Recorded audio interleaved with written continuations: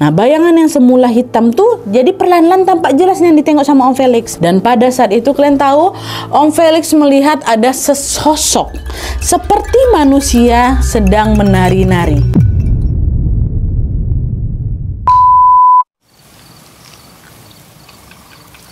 Wassalamualaikum warahmatullahi wabarakatuh. Terima kasih sudah klik video ini. Oke wah jadi di malam Senin ini Seperti biasa aku akan membawakan Satu kisah horor wawa spesial Nusantara Part 189 dari provinsi terakhir di Indonesia Yaitu Provinsi Papua Barat Daya. Dan karena kita sudah memasuki provinsi terakhir Wah itu berarti KHW spesial Nusantara berakhir sudah Cukup sampai di sini Gimana wak kalian-kalian senang kah atau sedih sekarang? Aku sedih loh. Iya Allah. Yang jelas aku di sini mau ngucapin terima kasih banyak buat kalian semua yang sudah setia membersamai KHW Nusantara kita mulai dari ujung barat Provinsi Aceh sampai ke ujung timur Provinsi Papua Barat Daya atau Sorong ini. Kita mulai itu sejak aku belum hamil loh wak di bulan Mei ya kan. Selesai di alhamdulillah setelah aku melahirkan harusnya nih. Masya Allah. 9 bulan ya wak ya. Ah terima kasih sekali lagi. Habis ini KHW apa kita lagi? KHW internasional? Hmm? Tengok nanti lah entah dan tanda kisah itu dalam email aku ya kan. Tapi by the way sebagai penutup segmen KHW Nusantara ini, Wak, malam ini aku akan menceritakan kisah horor yang betulan bakal bikin kalian merinding sebadan badan. Kalau kemarin kita punya kakek Suanggi, sekarang kita punya nenek Suanggi. Dan aku nggak mau spoiler banyak kali di depan ini. Kita langsung masuk aja ke ceritanya, Wak ya. Check it out.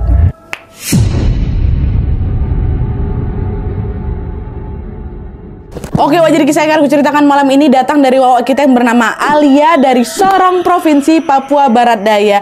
Halo Alia. Jadi wawak pengalaman ini dialami oleh Alia dan keluarganya, terutama tantenya yang bernama Mama Mega. By the way di Papua wawak katanya panggilan Mama ini memang sering kali dipakai sebagai pengganti kata ibu. Jadi macam Ibu Mega gitu loh. Atau Tante Mega lah kayak gitu ha. Nah, kejadian ini terjadi pada tahun 2011 ketika Mama Mega ini sedang mengandung anak ketiga. Dan by the way sebelum aku masuk ke kisahnya aku mau jelasin sedikit tentang latar belakangnya uh, si Mama Mega ini Wak ya karena kisah ini tentang Mama Mega dan juga Alia serta keluarganya. Jadi Wak, Mama Mega ini merupakan istri dari omnya Alia yang bernama Om Felix. Secara kepribadian perlu diingat di sini ya, Mama Mega ini dikenal sebagai orang yang sangat baik, sangat ramah dan dia ini juga pandai bergaul Wak. Sehingga banyak para tetangga yang senang berteman sama Mama Mega ini. Dan gak cuma itu aja, Mama Mega ini punya kebiasaan yang cukup unik Wak, yaitu suka tertawa dengan dengan suara keras sehingga orang-orang di sekitarnya juga ikutan ketawa. Jadi kayak nular gitu lah setiap kali Mama Mega ketawa. Ada kalian punya kawan kayak gitu kan? Ketawa dia padahal kita nggak tahu apa yang diketawainnya. Ah, ikutan ketawa kita gara dia ketawa kayak gitu ha. Nah kayak gitu nih sifatnya Mama Mega kan. Nah pada saat itu Mama Mega ini tinggal di sebuah rumah bersama-sama dengan keluarga besarnya yaitu keluarga Mama Mega. Ini ada Om Felix sama dua anaknya. Terus ada nenek kakeknya Alia. Terus ada Alia sama uh, kedua orang tuanya Alia juga gitu. Jadi di rumah itu ada tiga kakak kakak neneknya, kakak Omega, eh Omega pula tante Mega sama kakak bapak mamanya si Alia. Nah lanjut lagi itu aja lah latar belakangnya ya. Jadi Wak, kisah ini bermula ketika pada suatu sore Mama Mega ini sedang memainkan suatu permainan lokal gitulah bersama ibu-ibu tetangga lainnya. Saking serunya bermain, Mama Mega ini sampai berkali-kali ketawa ngakak gitu loh dengan suaranya yang sangat menggelegar itu kan biasanya kayak gitu kan. Pokoknya seru kali lah permainan mereka gitu. Wow, ketawa lah si Mama Mega ini. Dan ketika memasuki waktu maghrib, barulah Mama Mega dan para ibu-ibu membubarkan diri dan kembali ke rumah masing-masing. Nah pas baru uh, berjalan beberapa langkah, wah tiba-tiba aja Mama Mega ini didatangi sama seorang anak kecil. Terus anak kecil ini kayak ngasih sebuah bungkusan gitu ke si Mama. Uh, dia bilang, Mama Mega ini ada titipan buat Mama katanya. Oh makasih repot-repot kamu kata gitu. Sama-sama Mama katanya. Dah habis itu pergi si anak ini. Dia ngasih bungkusan ke Mama Mega.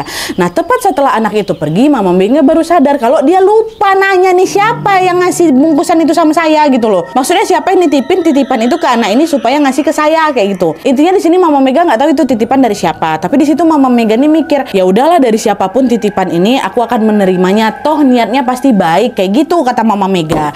Dia pun kembalilah berjalan menuju ke rumahnya sambil bawa itu bungkusan. Sesampainya di rumah, Mama Mega pun langsung membuka bungkusan itu.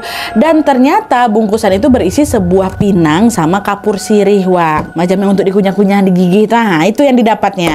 Nah, mendapati pemberian itu Mama Mega senang kali lah. Dia pun langsung tuh mengunyah pemberian itu tanpa ada perasaan curiga sedikit pun, Wak. Nah, dan setelah memakan buah pinang sama kapur sirih tadi, dan semuanya mana-mana aja dibersihkan lagi sama Mama Mega ditaruh pada tempatnya. Tapi, Wak, memasuki hari ketiga, Mama Mega ini mulai mengalami serentetan kejadian tidak masuk akal. Pada suatu sore di hari ketiga ini, Wak, Mama Mega tiba-tiba mengalami demam tinggi yang diikuti dengan kakinya yang sedikit membengkak. Pada saat itu, Mama Mega menganggap bahwa hal itu adalah sesuatu yang wajar. Orang dia lagi hamil kok. Kan biasa tuh kaki bengkak, badan pusing-pusing kayak, kayak gitu kan. Dah, akhirnya dia pun merebahkan dirinya lah di kasur buat beristirahat sebentar. Nah, selang beberapa jam kemudian, demam yang dialami sama meme siapa demam yang dialami sama Mama Mega ini langsung sembuh tuh sehingga dia bisa kembali beraktivitas seperti biasa. Tapi rupanya kesembuhan itu juga nggak berlangsung lama karena selang satu minggu kemudian Mama Mega ini kembali mengalami demam tinggi. Dan selain demam, Mama Mega ini juga sudah mulai bermimpi sesuatu yang sangat-sangat membingungkan, Wak. Membingungkan dan juga menyeramkan lah gitu. Jadi ceritanya pada uh, pada saat lagi tertidur pulas nih ha, Mama Mega bermimpi ingat, Mama Mega bermimpi didatangi oleh sesosok wanita berambut panjang yang postur tubuhnya pendek tapi agak sedikit berisi wah. Tapi yang bikin agak seramnya wah si sosok ini tidak memakai sehelai kain pun yang menutupi tubuhnya alias apa bugil nggak pakai baju sama sekali. Nah belum sempat mencerna keanehan itu Mama Mega ini kembali dibuat terkejut lagi ketika sosok ini tiba-tiba nanya kamu pilih mana nyawamu atau nyawa bayi dalam perutmu kata si sosok ini. Nah, dengar pertanyaan itu Mama Mega yang ada dalam mimpi ini pun juga langsung ketakutan wah. Dia lalu memberanikan diri untuk menolak si permintaan tadi. Tapi sayangnya belum Mama Mega ini mengucapkan sepatah kata apa pun, dia tiba-tiba terbangun nih dari dari tidurnya kan. Dek, itu eh mimpi apa aku tadi itu? Dan tepat setelah membuka matanya, Mama Mega pun langsung menceritakan kejadian atau mimpi yang baru saja dia alami itu ke suaminya Om Felix. Eh, uh, Papa tadi gini gini gini, udah ceritain kenapa ya kok tiba-tiba kayak gitu mimpi kok? Aku nggak pernah lo mimpi kayak gitu sebelumnya. Nah, dengan lembut dia biasalah kan suami mencoba menenangkan. Dengan lembut Om Felix ini meyakinkan Mama Mega bahwa udah tenang sayang itu cuma mimpi. Semuanya akan baik-baik saja katanya. Nah bersamaan dengan itu Mama Mega pun kembali sehat lagi seperti semula. Dia udah nggak demam-demam lagi tuh ya kan. Tapi udah ada nih mimpi aneh kayak tadi. Ingat ya Wak tadi sosoknya apa? Nggak pakai baju bogel dia. Terus dia ngomong kayak gitu sama Mama Mega. Nah, ternyata betul aja Wak, hal itu juga tidak berlangsung lama karena Mama Mega ini kembali mengalami kejanggalan yang ternyata menjadi pertanda buruk bagi keselamatannya. Tahu kalian? Jadi ceritanya Wak, pada suatu malam Mama Mega ini lagi tertidur, lagi ketiduran di ruang TV bersama dengan beberapa keponakan lainnya, termasuk Wak kita si Alia ini. Nah pas lagi enak-enaknya tidur ini, Mama Mega mendadak terbangun, gegara betisnya kram. Biasalah Ibu Amel juga kadang suka kayak gitu kan. Nah pas membuka matanya itulah, Mama Mega melihat ada sesosok makhluk tinggi besar tapi Wak, tinggi besar, dia berjalan keluar dari kamar mamanya, which is kamar nenek. Set, berjalan, ngarah ke belakang. Tapi waktu waktu itu si Mama Mega nih nggak takut wa karena dia pikir oh aku lagi mimpi nih. Ya dia mikirnya kayak gitu aku lagi mimpi. Karena kan kita tidur nih. Karena dia ngerasa lagi mimpi di dalam mimpi itu uh, si Mama Mega ini pun berjalan ngendap-ngendap ngikutin si sosok tinggi tadi itu ke mana dia pergi. Diikutin dari belakang. Dan ternyata si sosok itu menuju ke dapur wa dia berhentilah tepat di samping sumur yang ada di sana. Memang di dapur itu ada sumur uh, nenek Nat. Nah terus sosok ini berdiri diam wa cukup lama di situ. Dengan dengan posisi membelakangi Mega. Kebayang ya? Ini sumur, ah sosok tuh di sini ha, di belakangnya si Mega. Nah, melihat keanehan itu, Mama Mega jadi bertanya-tanya, "Eh, ngapain dia berhenti di situ gitu? Apa dia penghuni sumur ini?" Tapi selama aku tinggal di sini baru pertama kali lah aku lihat dia, kata Tante Mega ini. Nah, belum sempat memahami keanehan itu, Wak. Tiba-tiba saja sosok yang tadi membelakangi Mega ini anggaplah sini si sosok itu kan, dia membelakangi kalian kan kayak gini kan. Ini ini Bu Mega nih. Ah, ini sosok nih. Sosok yang awalnya membelakangi Mega, Wak, tiba-tiba menghadap ke mamanya Mega dan kemudian sosok itu melayang, melayang dia berputar balik gini, Wak. Berputar balik sampai kepalanya di bawah kakinya di atas. Terbayang kayak gini kan? Ini sumur nih. Dan ini pun masih dalam posisi ngadap mamanya Mega. Jadi waktu dia kayak gini saat dia balik. Ha langsung mutar. Sehet, tersenyum pula. Dia tuh menyeringai gitu kan. Ha kayak gitu. Terus masuk dia dalam sumur. Biar itu Nah waktu nengok itu Mama Mega masih, heh, heh kenapa kau? Tapi dia masih agak tenang, Wak. Karena pada saat itu Mama Mega beranggapan apa? Aku nih lagi mimpi, kayak gitu kan. Nah tapi entah kenapa Mama Mega ini tiba-tiba merasa terdorong untuk kayak mencubit pipinya gitu, kayak pengen menyadarkan diri, dirinya. Bentar loh, aku mau bukti ini. Kalau apa yang ku tengok tadi pasti mimpi, ya kan? Dicubit-cubitnya lah pipinya. Tapi rupanya cubitan itu terasa sakit. Ah di situlah Mama Mega ini akhirnya sadar bahwa kejadian yang baru saja dia lihat tadi merupakan kejadian nyata bukan mimpi. Ada sosok keluar dari uh, kamar mamanya berjalan berjalan berjalan masuklah dia ke dalam itu sumur. Paniklah si Mega di situ. Langsunglah dia berteriak kencang kan hingga membangunkan semua orang yang sedang tertidur pulas termasuk aku Nadia. Nah Om Felix suaminya yang mendengar teriakan itu pun langsung menghampiri istrinya. Ada apa sayang? Kamu kenapa ngapain malam-malam depan sumur kayak gini? Iya Allah bang tadi aku tengok hantu di dapur ini bang. Wah semua lah diceritain. Aku pikir tadi cuma mimpi ternyata betulan bang berputar dia itu. Mau diceritain semuanya kan. Ah masa sih? Perasaan selama tinggal di rumah ini kita nggak pernah ngeliat hantu loh. Yang mungkin kamu salah lihat aja. Udahlah udahlah keluar keluar. Siap-siap nih bentar lagi juga udah mau sholat subuh. Kita sholat sama-sama ya biar tenang. Katanya iya bang iya bang katanya. Nah tuh akhirnya mereka pun langsung melaksanakan sholat subuh berjamaah bersama dengan anggota keluarga yang lainnya dan nih, setelah sholat mereka pun lanjut berzikir seperti biasa, Wak. Nah, nggak lama kemudian Mama Mega ini merebahkan dirinya uh, di sana di tempat itu sambil menatap ke arah langit-langit. Nah, menyadari hal itu, Alia si Wawa kita yang berada di samping Mama Mega langsung mikir, oh pasti Mama Mega capek kali ini, apalagi dia lagi hamil besar ya kan. Dan pun pada saat itu memang sudah mendekati HPL, Wak. bentar lagi mau melahirkan lah gitu.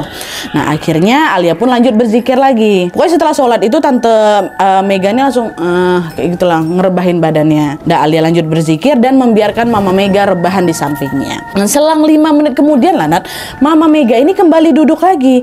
Dia minta diambilkan air minum. Tolong ambilin minum Lana katanya. Da Alia pun langsung bergegas ke dapur ngambillah segelas air. Gak lama kemudian Alia baliklah ini ke tempat sholat dan memberikan gelas itu kepada si tante. Dan tepat setelah meminum air itu lawa Alia dan keluarganya dibuat terkejut karena secara tiba-tiba Nadia di depan mata kepala aku Mama Mega nih muntah ya kan? Awalnya muntahnya dikit aja Nadia. Biasalah tapi lama kelamaan muntahnya makin banyak. Sampai basah itu tempat sholat kami. Banyaknya nggak wajar. Ada kali 3-4 liter tuh Nat bayangkan lah banyak kali kan? Dan yang bikin anehnya lagi Wak di dalam muntahan itu ada macam serabut-serabut buah pinang gitu loh yang warnanya sudah memudar. Di situlah aku sama keluarga aku langsung beranggapan bahwa muntahan itu pasti ada hubungannya dengan buah pinang yang kemarin dimakan sama Mama Mega pasti ini. Soalnya terakhir kali mereka melihat Mama Mega kayak gitu ya pakai bungkusan yang dikasih sama anak-anak itu Wak. Selebih-lebihnya nggak ada. Pun di rumah tuh nggak pernah nyetok kayak pinang sama sirih kayak itu nggak ada nih. Dan untuk membuktikan asumsi tersebut Om Felix pun akhirnya manggil orang pintar di kampung mereka Wak. Namanya kakek Abbas. Dan sesampainya si kakek Abbas itu di rumah kakek Abbas pun langsung memeriksa Mama Mega.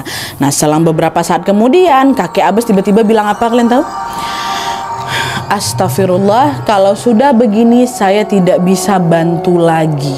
Mohon maaf, dia sudah tidak bisa diapa-apakan. Kalian tinggal tunggu waktu saja. Kata kakek Abbas kayak gitu. Dengar itu langsung nanya lah suaminya kan. Eh, emang ada apa nih kayak tunggu waktu gimana maksudnya? Kakek Abbas jawab lagi. Istri kamu sudah diberi makan oleh seseorang yang sedang mempraktekkan ilmu suanggi. Dia sengaja menargetkan istrimu sebagai tumbal agar ilmunya semakin kuat. Makanan apa itu? Kayak perasaan istri aku nggak ada makan yang aneh-aneh lah. Dia makan buah pinang dan buah kapur yang dititipkan kepada seorang anak kecil beberapa hari yang lalu. Tahu kakek Abbas tuh Nat? Dengar penjelasan itu kagetlah mereka semua yang di sana kan. Alia dan keluarganya langsung langsung berpikiran bahwa seseorang yang dimaksud sama kakek Abbas ini adalah tetangga kami Nadia. Yang kita sebut aja lah namanya Nek Omang ya. Lo kok neng omang nih wak tiba-tiba? Kenapa nenek ini? Nah karena ternyata wak nek omang ini adalah seorang nenek-nenek yang diketahui oleh warga kampung tempat si Alia ini tinggal sebagai seseorang yang memang sudah mempraktekkan ilmu suanggi atau ilmu hitam sejak lama. Nah meskipun demikian para tetangga di sana tuh macam sama sekali nggak ada yang berani negur wak. Kenapa?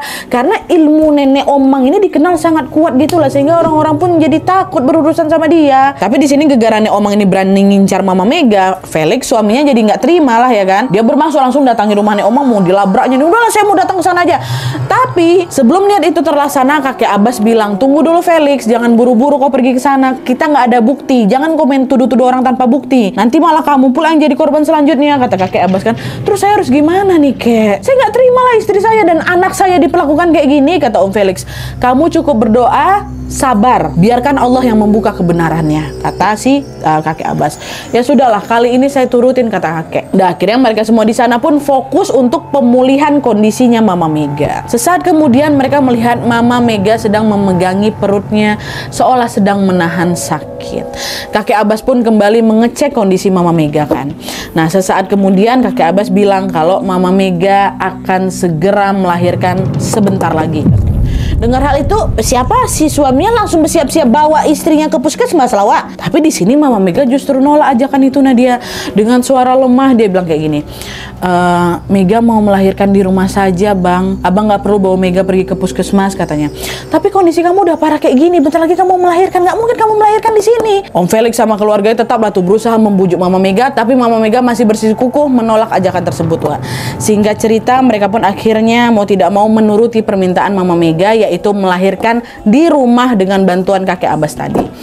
Dan karena kondisi cukup mengkhawatirkan, keluarganya Alia pun berdoa bersama untuk bisa memohon keselamatannya Mama Mega dan juga bayi yang ada di dalam kandungannya. Nah, tapi wak, pas lagi khusyuknya mereka berdoa, Mama Mega tiba-tiba mengatakan sesuatu yang membuat semua orang yang ada di sana menitikkan air mata. Pada saat itu Mama Mega bilang, saya sudah ikhlas kalau memang hari ini adalah hari terakhir saya di dunia. Tapi mohon rawat anak ini baik-baik ya kata Mama Megawa. Astagfirullah jangan ngomong kayak gitulah sayang. Insya Allah kamu bisa melahirkan dengan lancar. Bertahan ya kata Om Felix. Dan tepat setelah Om Felix berkata demikian, Mama Mega balik muntah-muntah lagi wa.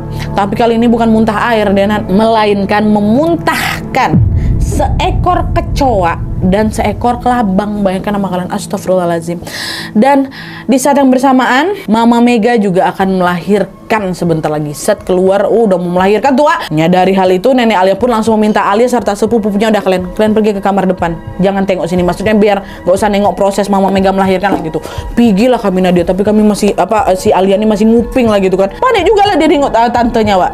Nah tepat sebelum mereka masuk ke kamar belum lagi kami masuk ke kamar tuh Nadia Mama Mega sempat bilang lagi nih ke mereka yang ada di sana. Aduh sedih kali. Mama Mega bilang kalian nanti bantuin nenek jagain adek ya. Dia ngomong kayak gitu sama kami. Nat kata si Alia. Denger itu udah nggak enak firasat kunat akhirnya Alia pun menangis sambil terus berdoa agar persalinan atau proses persalinan Mama Mega berjalan lancar. Dari balik pintu Alia mendengar samar-samar suara teriakan Mama Mega yang sedang mengejankan Aduh, sedih kali. Dan setelah ditunggu punya tunggu, akhirnya hal yang tidak mereka inginkan pun terjadi, Wak. Alia mendengar ada suara tangisan bayi yang diiringi dengan suara tangisan keluarganya. Karena penasaran, Alia langsung masuklah ke dalam ruangan itu. Nah, di sanalah dia melihat bahwa Mama Mega dalam keadaan sudah ditutupi sehelai kain panjang yang menandakan bahwa Mama Mega sudah meninggal dunia meninggal Wak Tante Mega tuh. Ya Allah sedih kali surga tempatmu Tante. Apa nggak menangis semua keluarga aku di sana termasuk Alia. Ya Allah sedih kali ya Nah singkat cerita wak pagi itu berita kematian Mama Mega pun sudah tersebar ke berbagai penjuru kampung. Para tetangga pun langsung mendatangi rumah Om Felix untuk bisa mengucapkan bela sungkawa. Nah di tengah keramaian itu, nih balik lagi ceritanya ini belum selesai nih wak. Di tengah keramaian itu mereka semua para pelayan ini dibuat terkejut karena ada seseorang yang diduga sebagai dalang atas meninggalnya Mama Mega justru muncul di situ. Siapa? Nek Omang datang dia ditampakkan ya batang hidungnya ke rumahnya Felix Wak. Sampailah ketika proses pemandian jenazah Mama Mega berlangsung, Nek Omang ini justru melakukan sebuah keanehan yang disaksikan oleh banyak orang di sana. Keanehannya apa? Jadi ceritanya pada saat itu jenazah Mama Mega ini kan langsung lagi dimandikan Wak di sebuah kamar kosong yang memang ada di dalam rumah. Dan setelah proses memandikan itu selesai, orang-orang pun keluarlah dari kamar itu ya kan. Ada beberapa dibersihkan tapi setelah itu keluar. Nah, ketika kamar itu lagi sepi, kamar bekas memandikan jenazahnya Mama Mega ini sepi, si nenek omang ini justru masuk ke dalam kamar itu. Langsung dicelupkannya tangannya ke dalam air sisa pemandian jenazah Mama Mega. Dan yang lebih epiknya lagi, selain dia masukkan tangannya, dibasuhkannya air itu ke seluruh wajah sama rambutnya. Hah, kayak gitu kayak orang ngambil wudhu, wah. Orang ngambil wudhu pun nggak ada yang sampai basah ke belakangnya. Hmm, macam begitu kan ya. Dan setelah itu dah keluar dia dari uh, kamar tuh dia duduklah di teras seolah-olah tidak terjadi apa-apa. Dengan basah bebasah tuh ya, itu semua orang nengok loh. Dan aku pun nengok kata si Alia. Kok diperbolehkan sama Om Felix datang ya? Macam mana wak mau dilabrak? Nggak mungkin orang nggak ada bukti kok. Dan meski merasa janggal dengan tingkah laku Nek Omang yang tadi, wak keluarga Alia pun memilih untuk mengabaikan si nenek tadi dan berfokus untuk proses pemakamannya Mama Mega dong. Nah singkat cerita setelah Mama Mega dimakamkan, mereka pun langsung menggelar tahlilan selama tujuh hari tujuh malam. Nah, dalam kurun waktu itu semuanya berjalan lancar, aman-aman aja memang. Tapi tepat pada malam ketujuh, malam ketujuh nih ya, keluarganya Alia kembali dikejutkan dengan sebuah kejadian lagi. Jadi ceritanya pada malam ketujuh itu, tahlilan Mama Mega sudah selesai digelar, Wak. Om Felix yang masih merasa kehilangan pun lalu menyendiri ke belakang sambil merokok di pintu belakang sambil menikmati uh, hembusan angin sepoi-sepoi. Dan by the way, memang uh, belakang rumahnya Om Felix ini dekat sama pantai, Wak. Nah, tapi sebelum menuju ke pantai itu ada macam tanah lapang gitulah yang ditumbuhi oleh pohon-pohon kelapa yang cukup berjarak satu sama lain. Nah, Pas lagi seru-serunya ngerokok menyendiri ini, samar-samar dengar Om Felix ini melihat ada sebuah aduh hmm, merinding.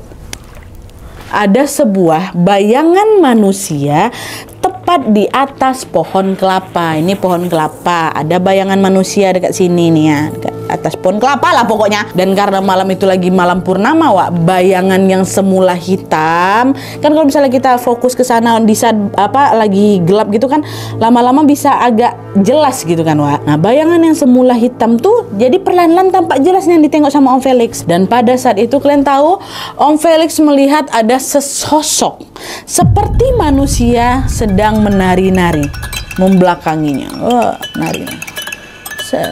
Tapi dalam kondisi nggak pakai baju, Wak. bogel. Bayangkan sama kalian, ya, tanpa baju, tanpa sehelai baju apa pun. Nah, karena penasaran, Om Felix pun berkali-kali ngucek matanya kan, eh, betul nggak yang ku tengok nih? Mana ada orang nari-nari di atas pohon kelapa nggak pakai baju pula?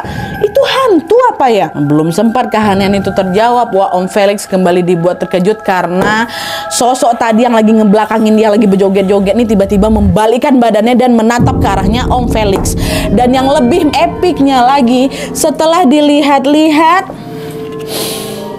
wajah itu sangat mirip sangat-sangat mirip dengan wajah si nenek Suwangi yang tidak lain tidak bukan adalah nenek Omang Nenek Omang itu, kata Om Felix. Uh, jelas mukanya Nat, kata Om Felix. Dan Om Felix yang terkejut pun langsung menutup itu dan berlari sekencang-kencangnya menuju ke ruang tengah. Nah, nengok Om Felix yang berlarian, neneknya Ali langsung nanya, eh Felix ada apa? Kenapa kamu berlarian malam-malam kayak gini gitu kan? Di situ Om Felix sama sekali nggak ngejawab pertanyaan nenek, Wak. Dia hanya bawa nenek menunjuk ke arah belakang tanpa sanggup mengucapkan sepatah kata apa pun.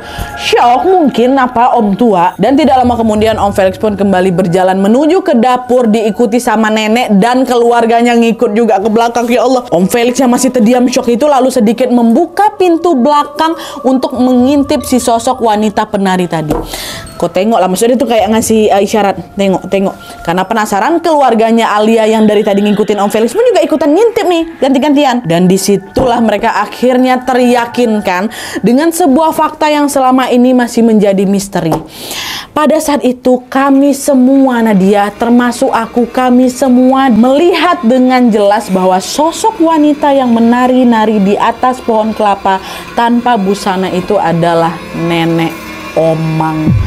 Saksi matanya banyak nggak cuman Om Felix wak kami semua nengok kata Alia. Dan yang lebih mengejutkan lagi ternyata nenek Omang ini melakukan tarian itu untuk merayakan kemenangan karena dia berhasil astagfirullahaladzim itulah menumbalkan tante demi ambisi pribadinya yaitu supaya ilmu suwanginya menjadi lebih kuat lagi. Kalian bayangkan wak kalian tengok ada orang menari-nari bogel di belakang.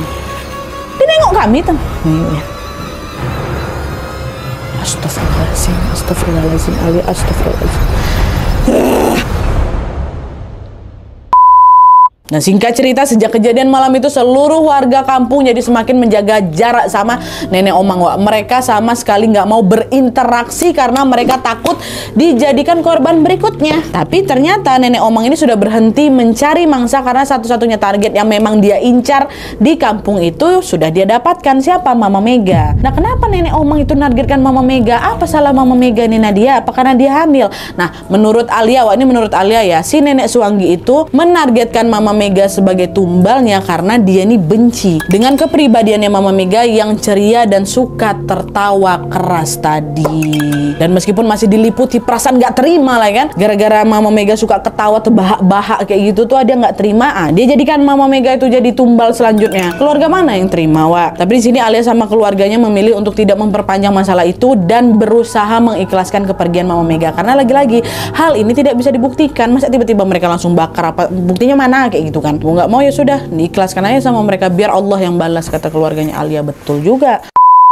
Nah, jadi itu tadi wak kisah dari Mama Mega yang menjadi korban kejahatan nenek Suanggi. Dari sini kita tahu betul bahwa pengguna ilmu hitam itu sangat-sangat kejam wak. Yang mereka nggak segan-segan menghilangkan nyawa seseorang manusia tidak bersalah dan tidak tahu apa-apa nih. Dan karena kejadian itu wak, Alia sama keluarga besarnya sampai pindah loh. Udah nggak mau tinggal di kampung tuh lagi, bayangkan sama kalian. Terus kabar anaknya Mama Mega gimana Nadia? Kata Alia wak, anaknya Mama Mega sekarang sudah tumbuh menjadi seorang anak kecil yang sangat lucu dan cantik cantik persis seperti mamanya. Oh masya Allah, alhamdulillah sehat-sehat ya dek ya. Mari kita doakan sama-sama semoga almarhumah Mama Mega diterima di sisi Allah Subhanahu Wa Taala dan insya Allah dia syahid karena meninggal pada saat melahirkannya. Dan kita doakan juga semoga Alia serta keluarga selalu dalam lindungan Allah Subhanahu Wa Taala dan sehat walafiat di mana pun mereka berada. Amin ya robbal alamin. Oke, Wak, jadi itu dia kisah penutup KHW Nusantara kita dari Papua Barat Daya. Terima kasih banyak Alia dan terima kasih buat Wawa semua yang sudah berkenan membagikan kisah horornya kepada kami para kontributor KHW Nusantara. Mantap kalian semua. Berkat kalian koleksi cerita horor kami dari Sabang sampai Merauke terpenuhi. Nanti dia mau lebaran kan bilang mau ponakan kalian mau cerita horor dari mana? Hmm? Gorontalo ada kami pun di layar. Mau apa lagi? Dari Papua, Papua ada nenek Suanggi, kakek Suanggi, mau apa lagi? Ya Allah, banyak cerita kita ya. Berkat kalian aku bisa menceritakan KHW Nusantara dari 38 provinsi di Indonesia secara lengkap. 38 provinsi ini ada pengirimnya semua loh, terwakilkan semua, Masya Allah. Terharu kali. Karena ini memang episode terakhir, dengan itu aku ingin kembali menyampaikan bahwa KHW Nusantara resmi selesai sampai di sini. Wah, ya Allah. Dan karena KHW Nusantara ini udah selesai, Kalian ada saran enaknya segmen video di hari Minggu ini diisi dengan apa, Wak? KW Nusantara udah selesai dah, apalagi KW reguler. Nanti aja lah itu biar aja dia di malam Jumat kan. Kita apakan KW ini lagi? Pokoknya hari Minggu ini kita isi apa gitu ah. Tulis semua saran, pendapat kalian, ide kalian di kolom komentar di bawah ya. Karena aku dan tim insya Allah akan membaca dan juga mempertimbangkan masukan-masukan dari kalian semua. KW internasional Nadia, KW per kabupaten Nadia, KW dari tempat KW dari tempat aja nggak sih, Wak? Kayak gini, KW tempat, mana ya? KW KW di mall. Ya udah, jadi KW mall itu kita bawa dua cerita di mall kayak gitu. KHW di bioskop kita bawa kisah di bioskop KHW gunung kita bawa kisah di gunung jadi satu satu KHW itu eh satu video tuh ada dua tiga judul gitu kan karena banyak juga nih wawa yang ngasih kisahnya tuh apa singkat singkat kita bisa masukin kompilasi kan atau apa enaknya apa mau kalian Aku sama tim sebenarnya ada kebayang satu ide sih, tapi nanti aja lah ya. Kalian tunggu aja lah kejutan dari kami pokoknya. Hmm. Ini dia masih besar perutnya. Iya kan aku lagi nyetok ini, lagi nyetok video. Kalian tahu aku syuting ini bulan apa? 21 November. Ini tayangnya Februari kan. Nah, dari November udah aku stok buat kalian semua sayangku, cintaku, mengkekku. Hmm. Ini masih dalam perutnya. Harusnya insya Allah di tanggal ini anakku udah keluar kan. Dia udah, launching dia. Nah, udahlah. Lapar aku. Oke, okay, Wak. Jadi sekian dulu videonya. Terima kasih banyak yang sudah menonton. Kalau kalian suka video ini, klik like-nya. Jangan lupa komen di bawah tidak ada dan saran-saran untuk video selanjutnya. Jangan lupa nyalain notifikasinya supaya kalian tahu kalau aku upload video baru. And as always, jangan lupa untuk klik tombol subscribe supaya kalian sama-sama tahu informasi menarik dan menegangkan dari channel aku. See you next video, Wak. Bye.